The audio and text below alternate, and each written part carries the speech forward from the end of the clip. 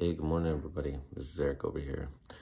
Just starting to wake up, so mind my eyes and my tiredness, foggy voice, slow movement, all that. Here's the day in the life as a maintenance man. Let's go.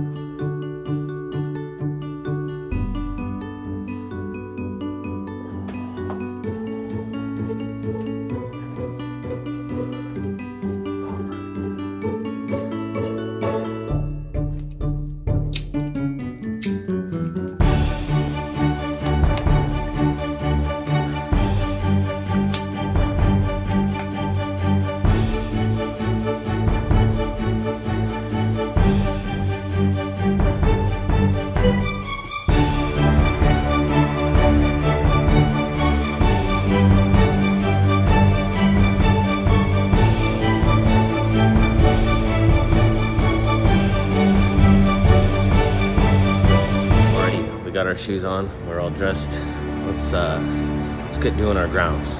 First thing you do every single morning, make sure that property's looking just right before that manager gets there. All right, so let's get at it. Down in the garage, looks like somebody left us a tree. Christmas is just just around the corner, and we got a trash can here. Interesting.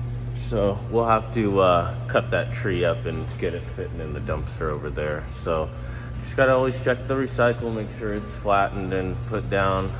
None of those big old boxes in there and whatnot. So, but everything's looking pretty good. So I'm gonna go do the grounds really quick before I start on cleaning up that. So I've got my bucket and my trusty picker and we're gonna go get it. All right, got my mask on, we're outside. We're gonna walk the grounds real quick, make sure everything's looking good, no trash, homeless, anything like that. So let's get that picked up. All right, the grounds are looking good. So we're gonna go check the inside, check the office, make sure everything's looking good on the inside now. Oh yeah, you gotta love the doggy station too. Make sure those baggies are full and that thing's empty. You'll hate yourself if you let that thing fill up. All right, so we're in my shop here, and uh, unfortunately, I have to share my shop with um, the trash chute, so get a little bit of a smell. So I guess I keep the mask on when I'm in here. So got my trash chute over there. We got the shop over here. A little unorganized at the moment. We just got a delivery, so these just came in. Um, and unfortunately, if I gotta replace this this guy with the one out there, I gotta take these out the door and then pull that out. So we'll get these moved as soon as we can. All right, first work order of the day. We got our washing machine agitator has fallen over. So we're gonna get this thing taken apart. One clip there, one clip there, we'll pop it, and we'll take the front off and see what's going on.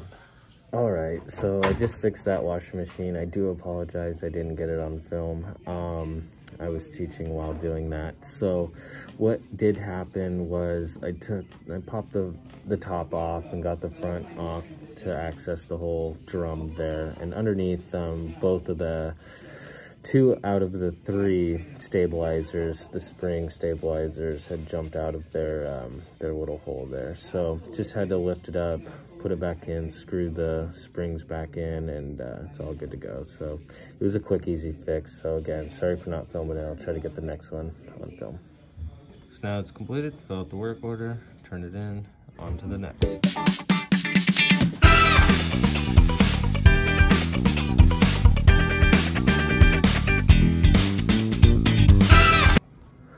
What's today?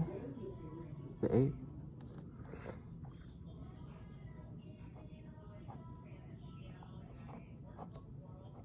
Twenty-one. Get rid of that twenty twenty. Bye, Felicia. All right, we just got that all filled out and everything. So probably one of the most important things as a maintenance guy is um, your coffee.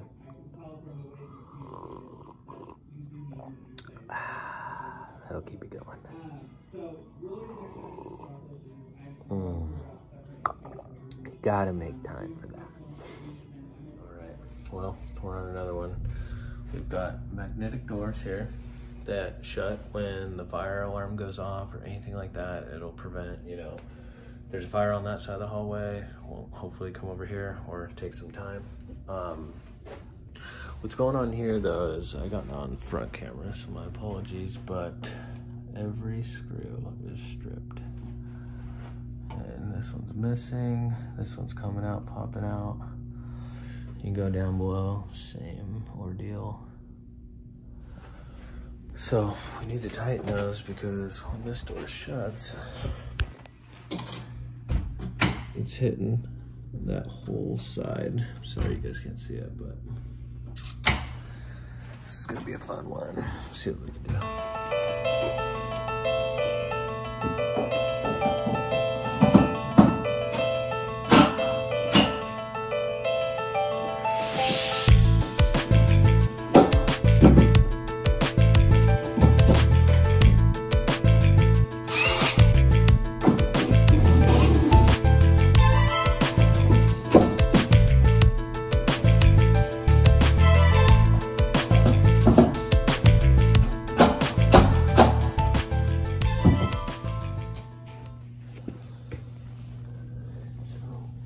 Unfortunately, we'll have to check this one off. Um, all the screws are completely stripped out, so um, gonna have to get some new hinges, some new screws, um, and a partner because this is a fire door. I know it looks strong, but can't do that one. We'll come back to this. Off to the next. All right, back at a new door here. So let's see what we can do.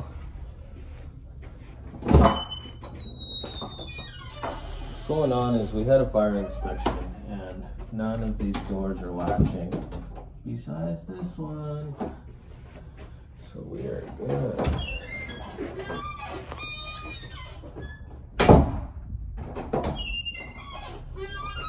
Probably wondering why I'm wearing these cool headphones. Shout out to Carol, thank you. I'm using your shooting range headphones. So I talked to the video, still here, and uh, talk to residents and answer the phone and all that, but making quite a bit of noise on this metal. So that's why. And they're cool. Come on.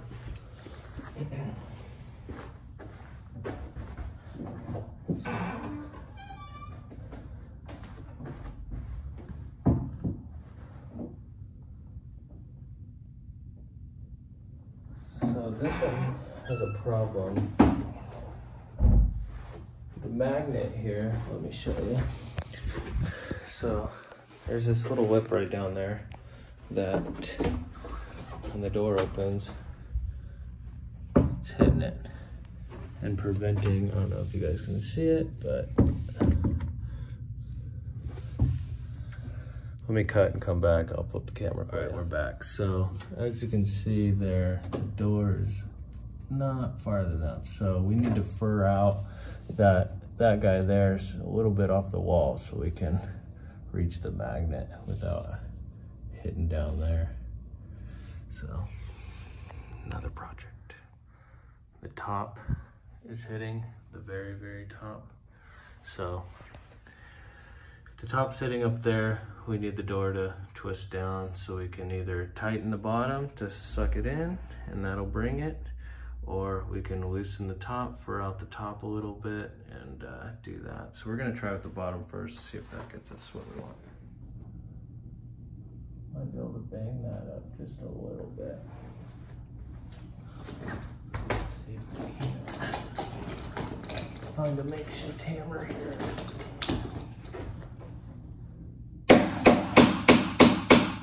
Oh, you guys just saw that. I'm gonna go get some eye drops I just got something in my eye. So, you guys like my hearing protection, but didn't wear eye protection. Dummy. So I'm crying right now, but we'll be alright. Uh, we'll get it fixed up and I'll come back. I wanted to show you guys, that's that piece there. So wear eye protection when you can. God, idiot. Now that I got pink eye, we're gonna go. I got it out. Wipe the tears away and get back to work. Let's go. I'm back. Got some glasses too. So, door stop out. Hey guys, so um, I'm back at my house taking a little break. I um, think I'm about halfway done with the doors. A lot of them are giving me problems with the strip screws and uh, being out of alignment. This building's probably about 30, 35 years old. So you're definitely going to have some settling and some issues with that. Definitely how heavy these doors are. I'm not kidding yet, man. I I don't think I can lift one. so I'm definitely going to need some help and we'll be back on this project, but we're going to move on for the day and um, pick up somewhere somewhere else and um, keep on keeping on. So let's get it.